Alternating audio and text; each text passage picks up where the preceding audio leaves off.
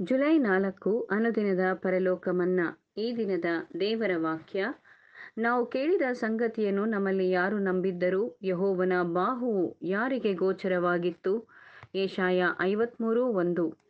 ಈ ಸಮಯದಲ್ಲಿ ದೇವರು ಸಭೆಯನ್ನು ಕರೆದಿರುವುದು ಅವರು ತಮ್ಮ ಬೆಳಕನ್ನು ಜನರ ಮುಂದೆ ಪ್ರದರ್ಶಿಸಲು, ಇದರಿಂದ ಅವರು ಆಕರ್ಷಿತರಾಗಿ ಹಿಂಸೆಗೆ ಒಳಗಾಗುವರು. ನೀತಿಯ ನಿಮಿತ್ತ ಹಿಂಸೆಯನ್ನು ಅನುಭವಿಸಬೇಕಾಗಿರುವುದಲ್ಲದೆ ಅವರು ತಮ್ಮ ನಿಲುವನ್ನು ತಾಳ್ಮೆಯುಳ್ಳವರಾಗಿ, ಸರಿಯಾಗಿ, ಸಹೋದರ ಕರುಣೆ, ಸಹಾನುಭೂತಿ ಮತ್ತು ಪ್ರೀತಿಯನ್ನು ತಮ್ಮನ್ನು ಹಿಂಸಿಸುವವರ ಪರವಾಗಿ ಅಲ್ಲದೆ ಎಲ್ಲ ಮನುಷ್ಯರ ಪರವಾಗಿ ವ್ಯಕ್ತಪಡಿಸತಕ್ಕದ್ದು. ಹೀಗಿರುವಲ್ಲಿ ಎಲ್ಲ ದೇವಜನರಿಗೆ ದೇವರು ಏರ್ಪಡಿಸಿರುವ ಬಹುಮಾನವನ್ನು ಪಡೆಯಲು ನಮ್ಮ ಕರ್ತನಾದ ಕ್ರಿಸ್ತನ ಮುಖದಲ್ಲಿ ದೈವ ಪ್ರಭಾವ ಹೊಳೆಯುತ್ತಿರುವುದನ್ನು ವೀಕ್ಷಿಸಿ, ತಂದೆ ದೇವರು ವಿಧಿಸಿರುವ ಷರತ್ತುಗಳು ಆತನ ಕರೆಯುವಿಕೆ ಮತ್ತು ಸೇವೆಗೆ ವಿಧೇಯರಾಗಿರುವುದು ಯುಕ್ತವಾಗಿದೆ.